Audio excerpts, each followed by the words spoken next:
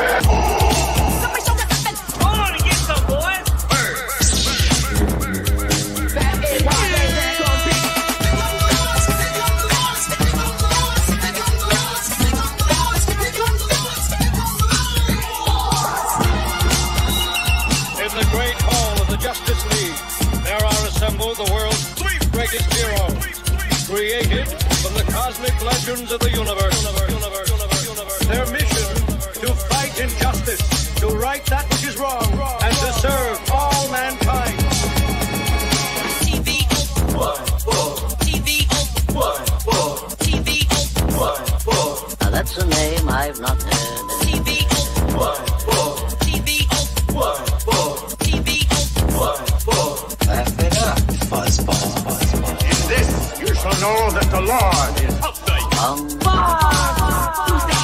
Shake and bake and pull it back. In this you shall know that the Lord is um, In this you shall know that the Lord is um, What the heck is the deal? I'm the best there is. In this you shall know that the Lord is um. What's in the box?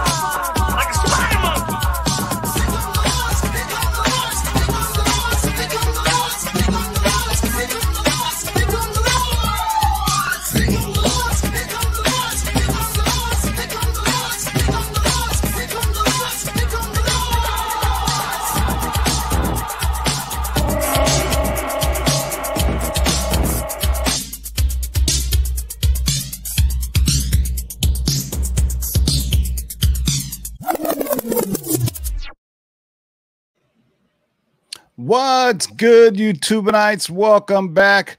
We thought you were live, but actually, this is pre-recorded. I want to just give a big, huge birthday shout out to Mikey Sutton. Happy birthday, brother! I hope you're having a great day. As this is going to drop on May 23rd, Mikey Sutton birthday. So we got a bunch of scoops. Uh, we may uh, post this as a premiere so all you guys can congregate in the live chat, but we're going to drop this pre recorded because there's a lot of stuff going on on Saturday. So we're sharing this with all those other YouTube channels that we said. This is the biggest scoop jam to date. How do you guys feel about that? This is Wow, major I'm, first. I'm my happy to be a part of it. Yeah, there's a lot of good what's up. stuff Let in me here. introduce my cohorts of fellow lords of the long box here. Manimal, say what's up. What's going on, everyone? A lot of big scoops, a lot of big stuff coming out this today. You're going to hear about. Should get you excited. For, and for his reaction, the most laid back person ever, Dark Side Jedi. Happy birthday, Mikey. Appreciate the scoops. Appreciate everybody watching as usual. Wish Dare I say we ya. have more more scoops than Baskin Robbins all the days and maybe Carol Baskins. No, they're good, though. So- all right, man. So let's get right to it, boys and girls. We got a lot of stuff to get through. It's by far the biggest uh, scoop show we've ever had. Even back in the day, we were doing like four or five scoops.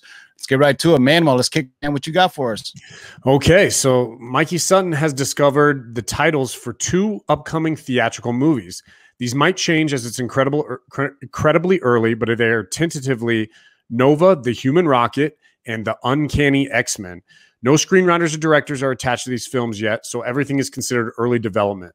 Sources tell Sutton that Nova will not be an origin story in the sense that Richard Rider will already be Nova in the beginning of the film and will be training with Sword and Nick Fury. Discussions have taken place on how Rider will be different than the MCU's other youthful male superhero, Peter Parker. Rider is going to be a stranger in a stranger, strange land, essentially an alien on Earth. He has lost his family due to Thanos and will need to adapt to life on another planet with superpowered new friends. It will be up to the creative team to take that theme and wrap it into an entertaining and uplifting package.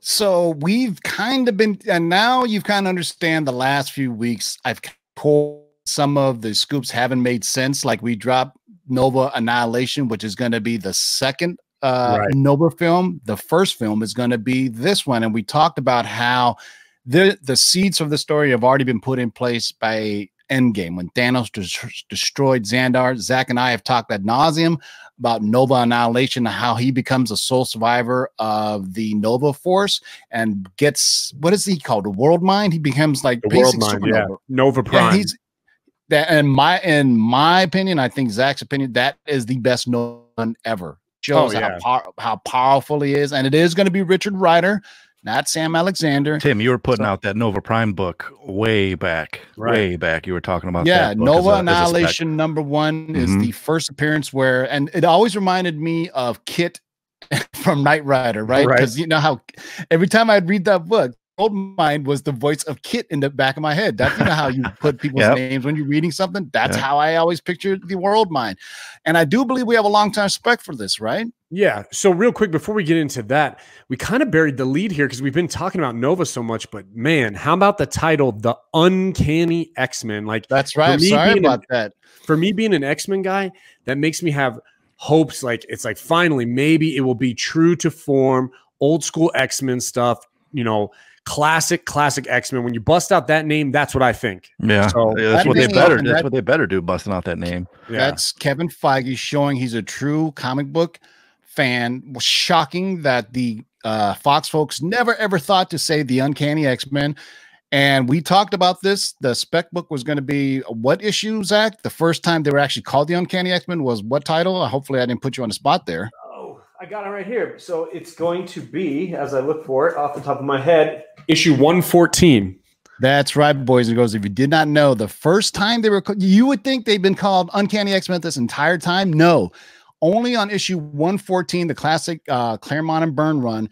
And 114, they started putting Uncanny X-Men on the title of the comic itself. So for those out there speculating, that's a, some because put it this way, people will collect anything on any little bit of news. I have a feeling that Uncanny X Men 114 that's going to start picking up, man. So there you go, boys and girls. On to scoop number two. We're not even a third of the way there yet, boys and girls. Did you All want to uh, do? Did you want to do the LTS? Oh yeah, let's do that. Okay. This show is so packed, boys and girls. We also have two long-term spec lists, but because there's so much stuff on there, what we're gonna do is just give you the quickie, the quick details of it, and then next week we're gonna go break it down even further and give you like uh, what issues you should look out for, and also some of the pricing. So uh, let's get right to it. What do we got for the long-term spec list? So real quick, we got obviously Richard Rider, and we got a couple of his early villains in his original run. We have Condor, we've got Anath Namat, which is actually the Sphinx. We've got Diamond Head, Factor X. Then we have some big names as well, some Fantastic Four characters like Blastar, Annihilus. We've got an X Men villain in there, the Phalanx, and then we have our boy Darkhawk, another fun That's space right. type character. So '90s era. And if it's gonna be in a Nova, you know it's not the like uh, street level version of Right. Darkhawk. It's the This is Raptor version. the Raptor version, if you don't know, they are pretty badass Yeah, in the hell yeah. comics when they kind of cosmic sized up Darkhawk. So, and then he has these origins tied into uh, these Oh, cosmic we beings. talked about that, I believe. Uh, Yeah, before our first channel got taken down, we were talking about the different Dark Hawks and which book would be which. I'm pretty yeah. sure. So, uh, next week we're gonna break down these long term spec lists uh, like we normally do. We're gonna talk about what issues you should look Oh, out yeah. for and, and what the sales data on is. We all know about Richard Rider, but do you know what do you know about you know Condor and Factor X and Diamond Head? So we, we will Um, dig deep into it. I wish Otto was here to pronounce Anath Namat. that sounds like the name of that movie, the the the Mummy, uh, the Yeah. good one with Brendan uh, Fraser. I really enjoy Right. those films, by the way. Yeah. All right, on to scoop number two, boys and girls. Ooh, I wonder what that's leading to. That kind of that kind of tells you everything you need to know about it. Hmm. But I'm gonna read it for you right here.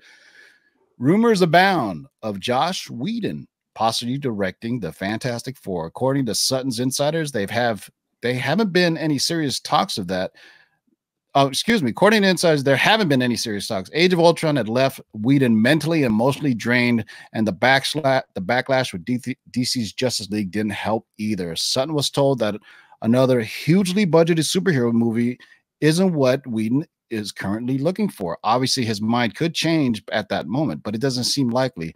But what does this they'll have to do with Disney Plus. Whedon is being considered to be a showrunner for two Disney Plus programs, one of which is Excalibur, which will feature Kitty among its lead characters. And as for the other show, head over to Three Buck Theater to find out. So this ties into what we've been talking to you about Mikey Sutton, and we've been talking about Excalibur. And even before that, the Black Knight gave us a long-term spec list on Excalibur. So even though Joss Whedon has been attached to the Fantastic Four by numerous different sites and fans and what have you, it looks like uh, they want him to work on Disney Plus. This is more in Joss Whedon's wheelhouse. If you think about uh, Buffy and the Yeah. episodic episodes he used to do, Joss ensemble Whedon- cast. He's Exactly. ensemble cast is what he's about. ensemble cast and episodic storytelling, I think that's perfectly in Joss Whedon's wheelhouse. Do you remember how Age of Ultron just left him like just defeated? He didn't want to do anything and he just kind of disappeared for a while.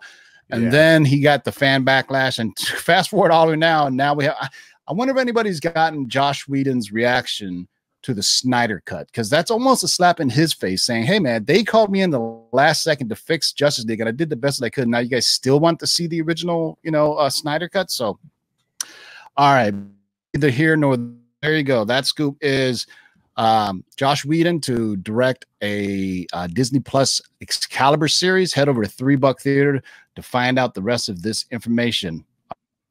The next one, what do you got, Zach? Okay, this is a big one, man. This is one I'm pretty excited for. So, Ghost Rider may have been extinguished on Hulu, but Marvel Studios is not done with horror on the network. Kevin Feige is in charge now of their TV efforts and plans to proceed with the darker side of the MCU on Hulu. According to Sutton's insiders, if Blade proves to be successful at the box office, is there any doubt? They want to then proceed with a, a Tomb of Dracula adult show on Hulu, adapted from the 70s Marvel comics. It will be a spin off from Blade. Holy crap. Wow. Wow. So many possibilities with that, man. so many and uh, you know we were talking about um jack russell uh Yep.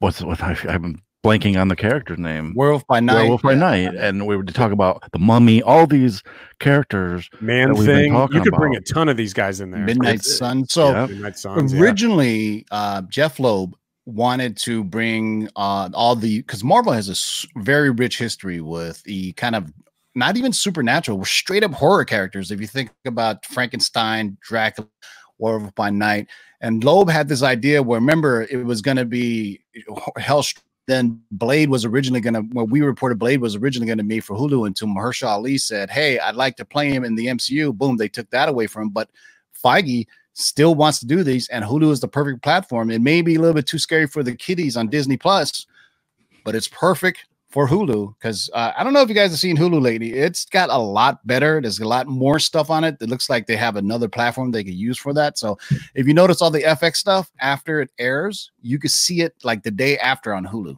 okay Um, so all the shows on FX, so you can Oh. see where they're this now. Too bad it's not on FX proper though, guys. I think FX proper, it could really get buck wild as they uh, normally do. Next up is a scoop that I'm pretty sure a lot of people have been waiting for because I've realized on this channel for a while now that anything Spider-Man related really gets fans excited. So I'm not going to tell you about it, but yes, I am. No, I'm just kidding. All right, boys and girls. The next scoop is this is a continuation from the Sutton birthday scoop jam from the Cosmic Wonder. Is it possible? It it's a possible and huge spoiler from a discussed live action Spider-Verse fight Spider movie. So avoid listening to this if you don't want to know. If Spider-Verse live action film is produced, the plan is Tobey Maguire an endgame farewell a la Robert Downey Jr a chance for director Sam Raimi to say goodbye to his beloved version of his character. But what happens after? According to Sutton sources, it's going to provide Sony and Marvel Studios a debut Miles Morales from verse as Spider-Man.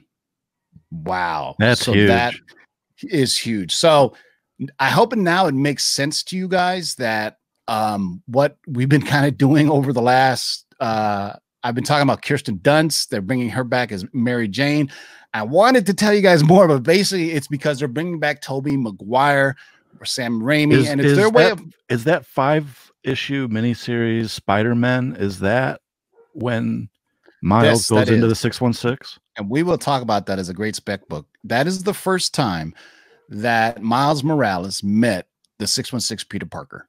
Um, it's a four or five issues uh, s- uh, miniseries called Spider Man, and it's the first time Miles Morales ever met uh, Peter Parker. And I started buying that book two years ago because I said eventually he's going to meet up in either the Sony or the MCU.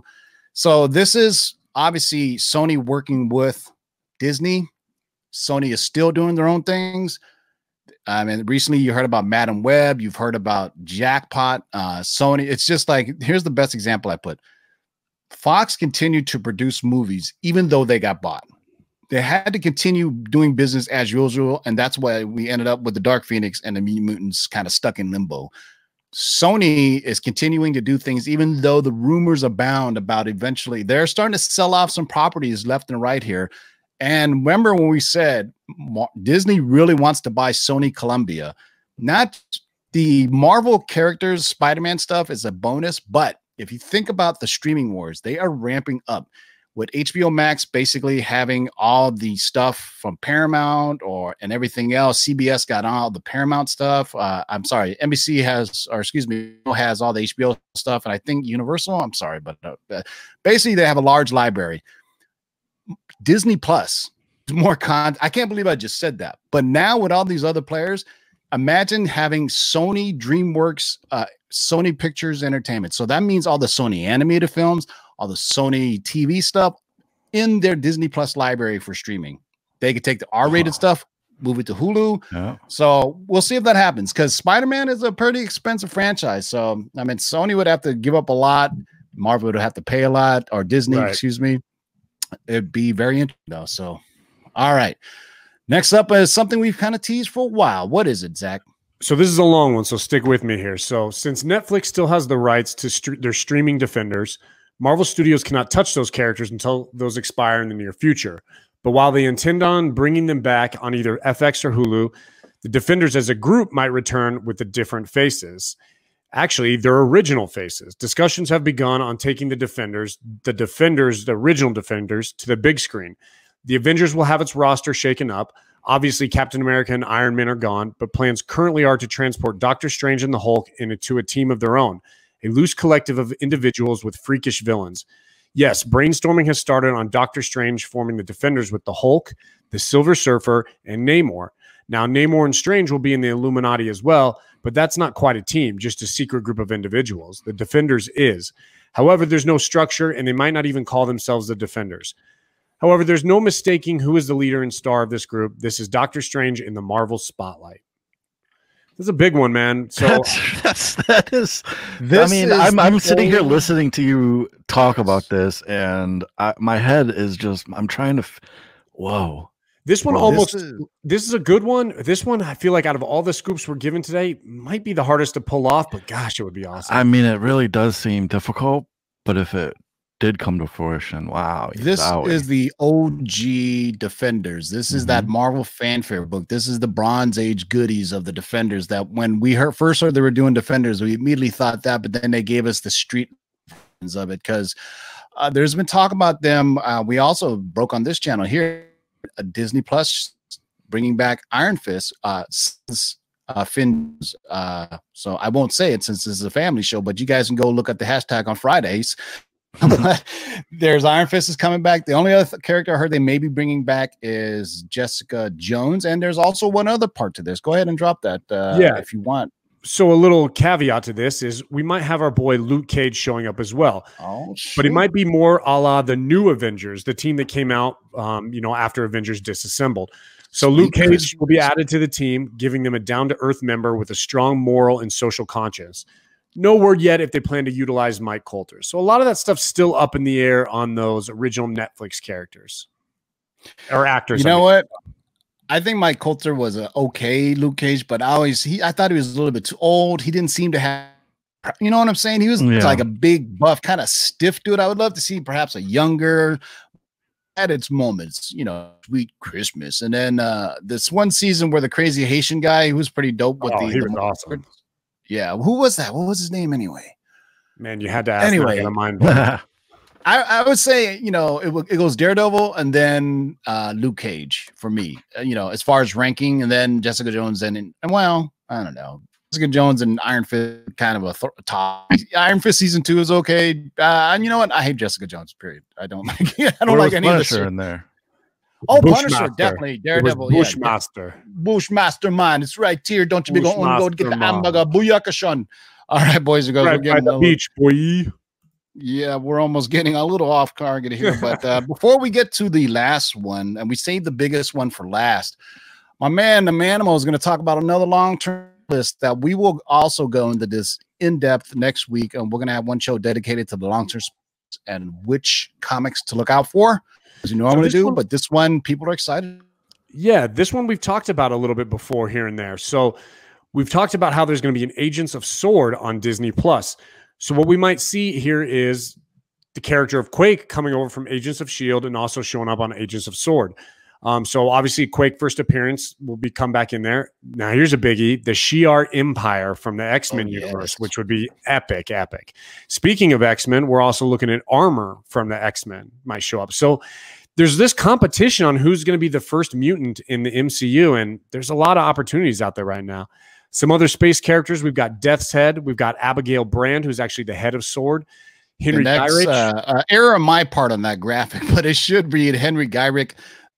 Oh, Kiel yeah, Yeah, Henry sorry. Gyrich. So and the Brood, which is a massive one as well. And then Yeah. I'm not even going to try to pronounce that, but it's a member of Sword, Kiel Rickett, whatever. yeah, so uh, the Brood is the very from like very like the aliens from the movie Aliens. Oh, yeah. right If about it, but they were also like they were a, they were a thorn on the X Men side for a long time, and they're like they were like the intergalactic uh, baddies for a while until Right. like modern times. It was kind of the um, PG version of Alien because instead of it growing inside you and bursting out your chest, it just turns you into them. So remember, you had like Rogue and Storm looking like aliens and having their powers as Brood, which was crazy. Yeah. So Quake has been in the news. At least uh, the actress who plays her, Chloe Bennet, um, she's been asked ad nauseum, "Hey, where are you going to be in this Sword series?" Uh, and then she goes, "I." uh, She goes, "I haven't heard anything. Only what I see on Twitter." And then there was something that just came out. I think today or yesterday. It would have been yesterday because this will be airing on Saturday. That Quake said, or they, or Chloe Bennet said, "I would love to play Quake if they would have me." Now. I asked Mikey about this, and obviously there's uh, uh, NDAs they have to sign, non-disclosure agreements. So you know we can talk about it, but an actor can't straight up say, "Oh yeah, Quake is coming," and you know because they Disney wants to announce it on their terms. They don't want an actor to leak it for them or rob if he's uh, having one of his days. But uh, that's neither here nor there. But Age of Shield, we've been talking about. It's been teased, some set photos about Sword. So now we know Abigail Brand, so kind of the head of the sword division. From what I'm reading about this from Mikey Sutton, is telling me that Nick Fury will also be kind of heading up Sword since Shield is pretty much defunct. Well, and actually May 27th next week is the last season of Shield, so I'm actually kind of looking forward to that. It's their going away. Right. And don't forget, last time we saw uh, Nick Fury, he was in space with the Skrulls. So he's already out there. Yep, and who knows who's a Skrull now? But Oh, oh boy, okay, last one, boys and Secret girls. War. All right, boys and girls. Okay, now it's time for the big one. I've given you the appetizers. Now it's time for the birthday cake. As previously previously mentioned by Mikey Sutton on the Lords of the Long Box months ago, Magneto is being held back by Kevin Feige because of the saturation by Fox. What is being brainstormed about Magneto is larger in scope than anything Fox ever attempted. His presence, as with Doctor Doom, will be gradually acknowledged with seeds. Currently, this is how they will bloom. Magneto will be the primary figure in Secret Wars, a movie which has been discussed on this show before. Occupying that twilight zone between supervillain and misunderstood antihero, Magneto will be seen as a big bad initially, but in the Secret Wars, Magneto will be lead the charge against Doctor Doom, producing an epic fight between the two that will melt IMAX screens worldwide. Once the object of mistrust by the X Men, Magneto wins over their hearts and minds in Secret Wars. How do you follow up Secret Wars? Magneto, with his fellow mutants now on his side, except for Professor X and Wolverine, interestingly, will set up AVX, Avengers vs. X Men, which will be developed to follow Secret Wars. AVX was a huge uh, Marvel um, crossover where the Avengers took on the X Men. If I'm not mistaken, Zach, I believe the X Men had the powers of the Phoenix Force. Am I am I remembering that correctly? Initially, Yeah, right? You had the Phoenix Five in the in the start. The Phoenix Five, yeah, and Cyclops did not f in that at, at all. Oh, we got a lot to pack there, and we'll try to do it more for you later in the week. But this is the biggie. This is when I was teasing you guys fi- uh, projects for Phase Five, Six, and Seven because the end Phase Six, which would be the next three phases, roughly around there will be Secret Wars, and that's going to be the next end game level event. Why? And so in between that, you have certain films. Then you have the Annihilation Wave right in the middle. We talked about what that with Annihilus, and then at the end of that, Phase Six is going to be Secret Wars. Phase Seven, we'll start doing the Avengers versus the X Men. By that time, we'll have a full introduction of the X Men characters and brand new set of new Avengers. So this is looking not a year down the road, folks. This is looking maybe 10 years down the road, but this is something to get excited with. Um, trust me, Kevin Feige hasn't been sitting on his laurels during the shutdown uh, with the pandemic. This is, he's just been, uh, what is that? You ever seen that meme about Chuck Norris? Chuck Norris doesn't sleep. Chuck Norris doesn't sleep. He waits. all right. I'll put us all back on camera now so we could say hello and goodbye to the fine folks. But thank you for joining us. This will drop on May 23rd. Happy day to Mikey Sutton. And if you haven't, make sure you sub up this channel. We're doing a 4,000 sub giveaway. Check out our videos from Tuesday of this week to see how you can uh, get some free subscriptions to covrprice.com. Also, some comics and some other goodies. Any last words, Manimal? No, that was a lot, man. So there's a lot to think about, a lot to look forward to. And one thing just to kind of caveat with all this, you know, a lot of people out there giving scoops and getting scoops and stuff. All this stuff is change can change, right? This is this is Things are a- always a river here. change. So exactly. you know, ain't nobody saying this is exactly how it's going to be, but this is kind of what the picture's looking like right now. So, you know, and it looks pretty good, man. A lot of options, and there was a lot of mystery after Endgame as to what was going to happen next, and things are looking good. things are always subject to change and we found that out real time when we found out fox was being bought by marvel and then when sony decided to divorce themselves from uh, from disney uh, you remember that Right. Mhm. so things immediately started changing and then guess what they repaired the relationship and then things went back to so things are always subject to change because people are human I'll do you another one too. Let's not forget Guardians of the Galaxy 3. That was supposed to come out pretty recent or like next movie up. And because of all the James Gunn drama, that was real world stuff affecting that. So a lot of things. but now you got a james now you got a james gunn suicide squad movie Yeah. right? Right. And now, because of the Snyder cut, you may get an Ayer's cut of Suicide Yeah, Squad. no it's, just, joke. it's just gonna get ridiculous after a while, Ben. All right, Dark Side Jedi, any last words? Happy birthday, Mike Sutton. We appreciate you. Yeah. Thanks, man. Thank you all for joining us again for for you know what we can only say are super scoops Yep. Super duper scoops. from the Source sir. Supreme. We will see you guys on Tuesday for the cover price top 10. But the next time, boys and girls, keep digging in them long boxes. Peace, out. everybody. Bust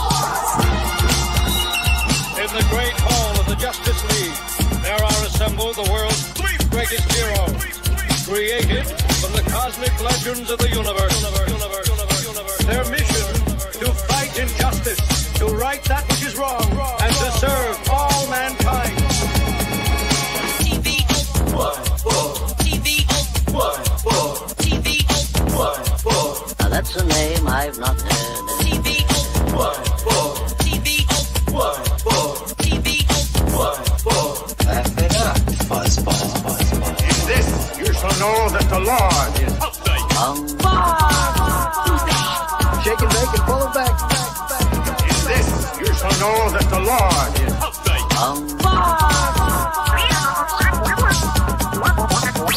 in this. You shall know that the Lord is um,